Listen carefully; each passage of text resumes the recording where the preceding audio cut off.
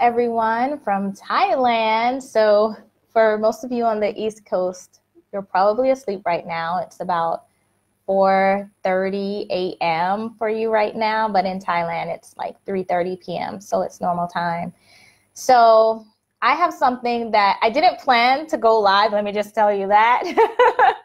I if you know me, you know that although I have done a lot of speaking and I do a lot of speaking, I'm one of those people who feel like I'm only going on a stage or I'm only showing up when I feel like I have something that I really need to say and that others need to hear. And so I, um, maybe 30, 20 minutes ago, I went next door. There's a shopping mall next door, and I went to get myself some avocado, um, an avocado smoothie. And I was standing in line. It was a, quite a long line this time. And I was overwhelmed with emotion. I mean, my eyes got all watery. Have you ever had a moment where you're somewhere and then you're overwhelmed with emotion, but you're trying to just look normal? And so that's what happened. I had this thought and I was overwhelmed with emotion and my eyes became watery and this woman's looking at me like, "What what's your order?" and I'm trying to smile, but I know my eyes are red and water and I'm just like, "Oh no." And that's because I had this thought while I was standing there of it the thought came to me and it just said, "Who are you standing for?" And I was just like, "Whoa."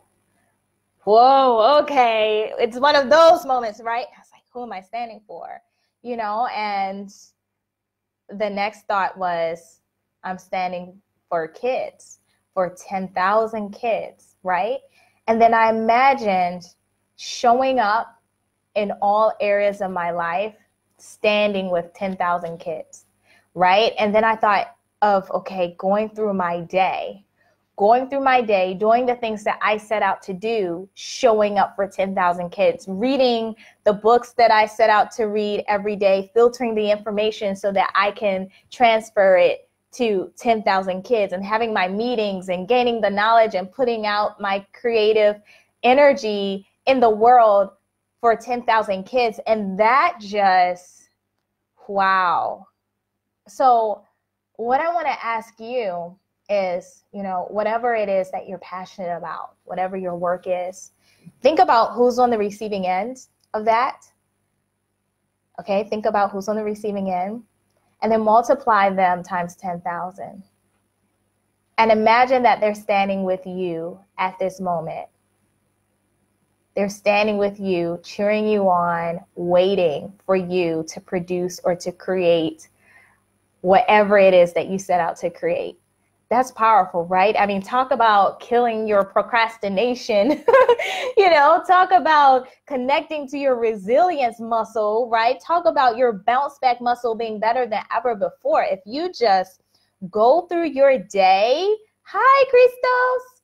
If you just go through your day imagining that 10,000 of the people who you want to support or create for imagine if 10,000 of those people are going throughout your day with you it's it's the most beautiful thing ever. And that's really what's happening right? People the people that you say that you're creating for or you're going to you have a problem that you want to solve for whoever that ideal receiver is they're waiting for you to follow through to show up right? So I would love for you to comment below and just say their names. And, and I don't mean individual names, but say who you're who you're standing for, who you're showing up for.